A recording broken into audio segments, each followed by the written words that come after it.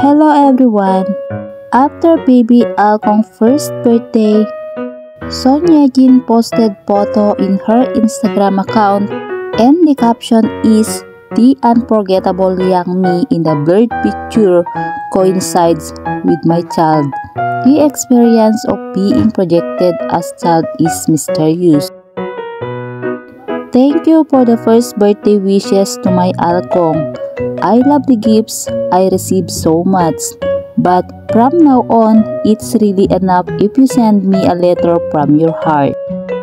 I pray my aunties and have a blessed day. The letters of encouragement that I receive from you every now and then are really the biggest consolation. I am always touched by this. What can you say about the latest update of Mommy Son YeJin? Please share thoughts and reaction below. Thank you for watching guys.